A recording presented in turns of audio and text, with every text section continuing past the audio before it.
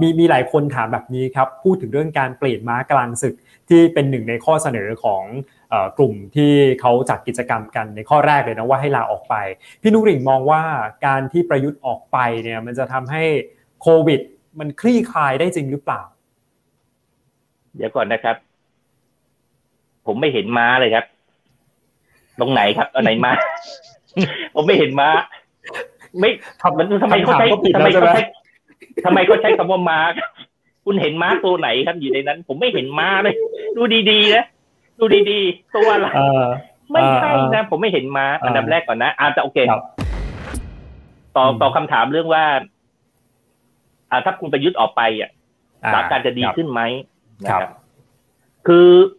คือถ้าโอเค ถ้าออกไปก็เราคาดหวังว่าจะมีผู้บริหารมาใหม่ใช่ไหมผู้นำประเทศมาใหม่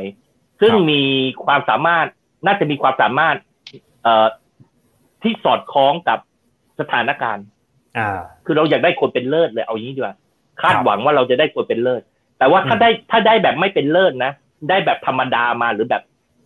งงงงวยมาเนี่ย ผมผมก็คิดว่าดีกว่าคุณประยุทธ์แล้วครับคุณประยุทธ์นี่พิสูจน์มาเจ็ดปีแล้วนะครับว่าไม่ได้เรื่องเลยครับ แล้วเป็นผู้นำนี่นี่เป็นสิ่งเดียวนะ ที่แสดงคือแสดงความเป็นผู้นำนะคุณประยุทธ์เนี่ย ก็คือนำหายนะนะครับ มาสู่สังคมไทยอย่างแท้จริง เราเราไม่เคยมีผู้นำขนาดนี้มาก่อนแกเนี่ยนำสิ่งนี้มา ดังนั้น ไอ้ใครมาอื่นเนี่ย โอกาสที่มันประเทศมันจะซวยซ้ำสองแบบเนี้ยยากนะมันต้องพิเศษจริง ๆ ใช่ นี่มันเป็นพิเศษจริง ๆ ในแล้ววาระเนี้ยสองร้อยปี ตั้งแต่ของรัตนโกสินทร์ใช่ เพราะว่าอะไร เพราะว่าพอคุณเอาคุณไปยึดออกไปเนี่ยคุณไปยึดออกไปโดยข้อหาอะไรครับโดยข้อหาว่าไร้ความสามารถนะไร้ความสามารถสติปัญญาต่ำเตี้ยดังนั้นเนี่ย ไอ้คนที่มาใหม่เนี่ย มันไอ้คนเลือกหรือวิธีการเลือกมันต้องมันต้องสรรหาจากอะไร มันจะไปเลือกคนแบบประยุทธ์มาอีกเหรอกูจะบ้าเลยมันไม่มีทางไงคนง่ายคนใหม่มันมานี่มันต้องแบบล้ำเลยอต้องล้ำต้องล้ำแน่นอน ต้องพูดให้ชัดนะว่าหนูลิงอยู่ในฝ่ายที่จะเอาใครมาก็ได้นอกวิถีทางเหรอไม่ไม่ไม่ไม่เอาอย่างนี้อยากอยากทำวิธีทางวิธีทางวิธีทางอ่ายังไง แล้วเราก็อยู่บนวิถีทางไปอ่า คุณก็ไปดูเด็กคนเสนอชื่ออะคุณจะเอาใครครับ ครับ อนุทินเหรอไหวเหรอไม่ได้ไม่แน่อนุทินอาจจะมานะ แต่ว่าจะไหวไหมแต่ว่าอันนี้ก็พอกัน อ่า โอเค แต่ว่าเอาเอาผมดูผมลุ้นนะเอาผมใจผมนะ ผมลุ้นคุณหญิงสุดารัตน์อ่าอยู่ที่อยู่ในบัญชีรายชื่อนะอ่าใช่ผมผมผมรู้ผมรู้คุณหญิงสุดารัตน์อ่า อย่างเงี้ยผมว่า ผมว่าถ้าถ้าเอาจากเอาเอาจากรายชื่อนะ ก็ถูกต้อง อืมอืมก็ถูกต้องผมผมเชื่อมันมีทางออก ไม่ขี้เหร่นะไม่ขี้เหร่เลยนะหญิงหน่อยนี่ไม่ไม่ขี้เหร่เลย กับเรื่องนี้นั้นแล้ว แล้วผมคิดว่าแกเธอทำการบ้านดีอะ นะครับจับอะก็เป็นอดีตรัฐมนตรีสาธารณสุขด้วยใช่อืมปัญหาคือมันไม่ง่ายฮะ มันไม่มีใครยกพานให้หรอก สวก็ไม่ยอมยกให้ อะก็ก็ตัวเรื่องมันอยู่ไม่กี่ตัวทำไง อืมใช้สองในสามก็ก็ก็ดันไปใช่ ก็ดันไปคนนอกมาเลย อืม เอาคนนอกเลยสองในสามสวโหวต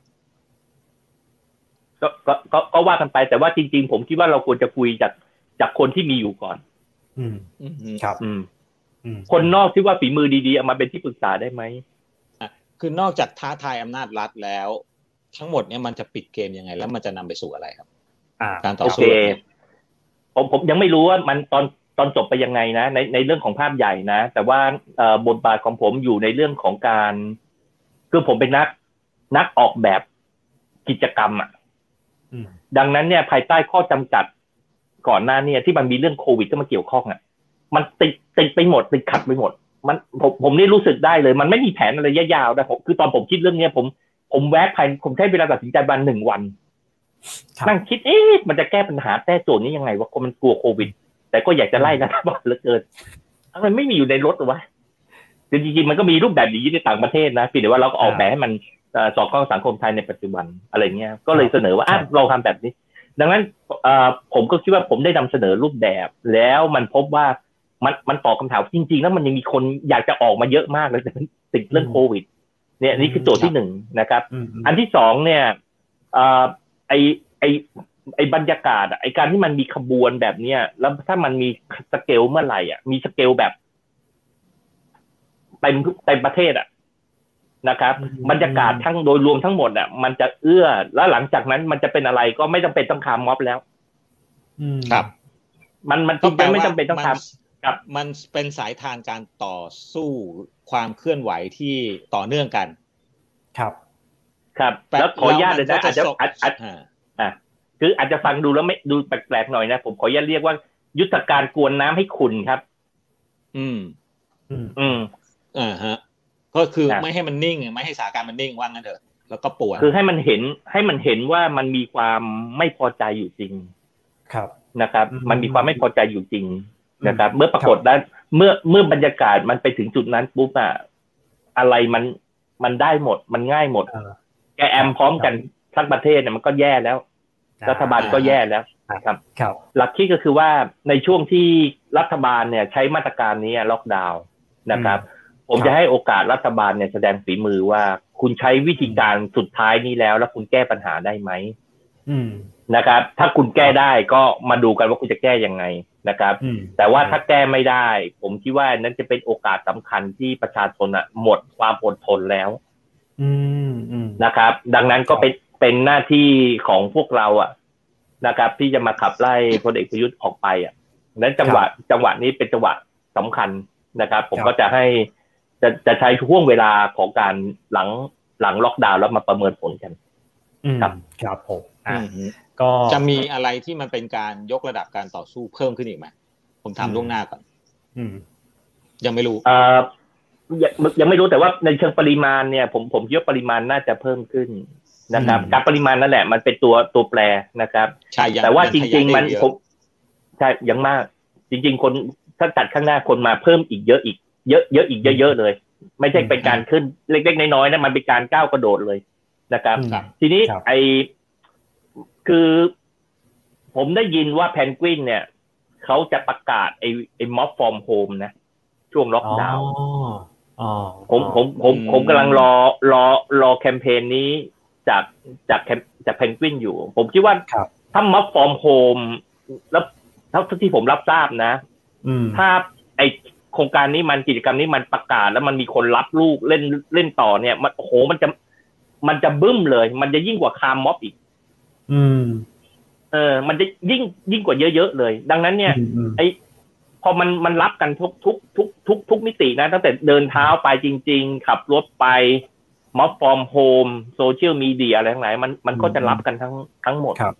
ฝ่ายความมั่นคงนี่วันนี้เขาเต็มที่เลยนะฮะในการที่จะออกมาใช้คำว่าขู่เลยก็ว่าได้นะสำหรับคนที่จะเข้าร่วมการชุมนุมหรือไม่ก็เอ่อนัดแนะประกาศเชิญชวนเนี่ยมีความผิดหมดเลยนะฮะพี่ชูครับฮะก็เขาก็ พิสูจน์ให้เห็นแล้วนี่ว่าหนึ่งปีที่ผ่านมาเขาก็ไม่เลิกหยุดดำเนินคดีอะเขาก็ดำเนินคดีอะไรมาตลอดอืมแต่ถามว่าคนกลัวไหมล่ะคผรับมก็ว่าคนไม่กลัวแล้วอะดำเนินคดีก็อืมดำเนินไปสิขู่ได้ก็ขู่ไปสิอะไรเงี้ยความครับชอบธรรมมันมันมันไม่ไหวแล้วอะแล้วจริง ๆ มันยังมีอืมคนอีกเยอะมาก ต้องเรียคกรับได้ว่าเอ่อเชื้อแพร่ระบาดของโควิด เนี่ยมันช่วยรัฐบาลไม่งั้นเนี่ยผมอืมว่าสถานการณ์ตอนนี้เนี่ยมันต้องระดับ โอ้ยคนเป็นล้านแล้วออกมาน่ะใช่อันี้ไม่ได้ใช่คุยเวอร์นะแต่ว่าไปครับถามรอบตัวดูว่ามีใครอืมพอใจกับรัฐบาลนี้บ้างเนี่ย ไม่มีแล้ว ความชอบธรรมความน่าเชื่อถือไม่เหลือแล้ว แล้วก็โกหกด้วย พบครับเลยเรื่องวัคซีนเนี่ยโกหกชัดเจนอืมฮะเอ่อครับแต่ว่าไม่มีความรับผิดชอบใด ๆ เลย คือออืมขั้นต่ำแล้วสามัญสำนึกขั้นต่ำไม่มีแล้วอะเอ่อผิดศีลอืมข้อหนึ่งแล้วอะเอ่อ ครับผมเนี่ยนะฮะผมไปดูล่าสุดในเพจของเยาวชนปลดแอกอย่างที่เอ่อพี่ชูได้บอกไว้นะครับว่าเป็นวาระครบรอบของเขาเนี่ยก็นัดกันแล้วนะฮะวันที่ 18 กรกฎาคมนี้ตั้งแต่ 14 นาฬิกาเป็นต้นไปก็เอ่อจะรวมตัวกันที่อนุสาวรีย์ประชาธิปไตยแล้วก็มุ่งหน้าไปที่ทำเนียบรัฐบาลนะครับ ก็ครับเขานัดกันยะฮะบ่ายสองใช่ไหมฮะบ่ายสองครับพี่ชูครับ มีข้อเรียกร้องสำคัญที่เขาประกาศไว้ก่อนหน้านี้นะฮะก็คือให้พลเอกประยุทธ์ลาออกโดยไม่มีเงื่อนไข ปรับลดงบสถาบันกองทัพมาสู้โควิด แล้วก็เปลี่ยนวัคซีนเอ่อมาเป็น mRNA